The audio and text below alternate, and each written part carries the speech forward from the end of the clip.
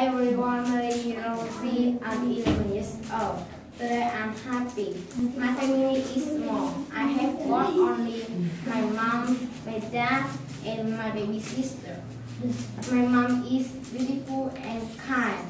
The Today she's happy. She's scared of zombies. My dad is tall and strong. Today he's tired. He's scared of skeletons. My baby sister is small. Today she's happy. She's scared of